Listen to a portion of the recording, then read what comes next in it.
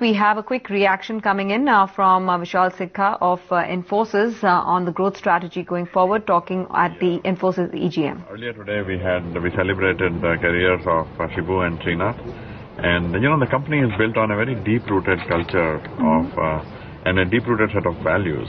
So my first order of business is to is to continue that and to uh, continue and grow that uh, the culture, the the processes, the plan that has been put into place by the by the founders.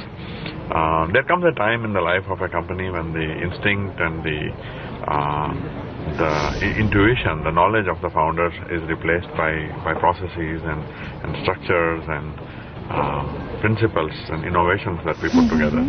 And Pravin and my endeavor will be to to do that.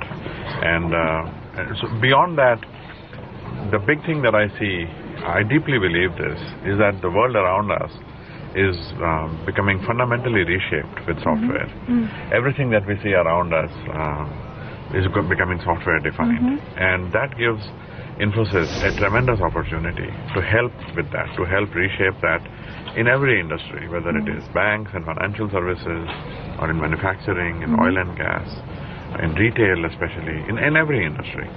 So I'm looking forward to augmenting the work that we have done traditionally with new kinds of initiatives and new kinds of uh, of uh, innovations that can be brought to clients. Vishal, the What model kind of- what, what kind of innovations are you looking at in the in the Yeah. in the first You have to uh, qualify phase? that, one of them at least. New kinds of extraordinary, Initiatives um, new kinds of extraordinary challenges. For example, uh, understanding of where growth will come from, understanding of how what the customers are, what the customer-led demand is, is a challenge that almost every company in the world has right now.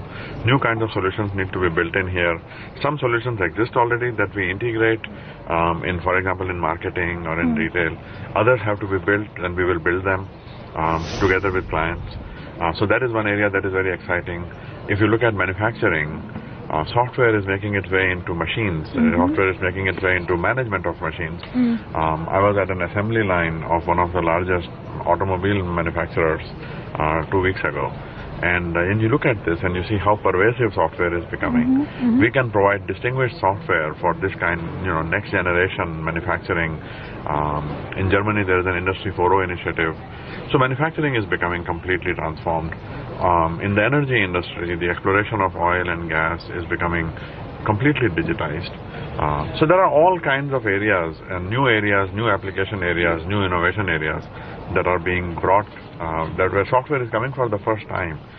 And, and I am looking forward to building innovation of that. And then the, finally, uh, the, on the cultural side, I think that uh, the opportunity to do to continue the culture, the extraordinary culture of learning that this company has had of education. I am looking forward to going to Mysore on this trip and uh, hanging out with the trainees there.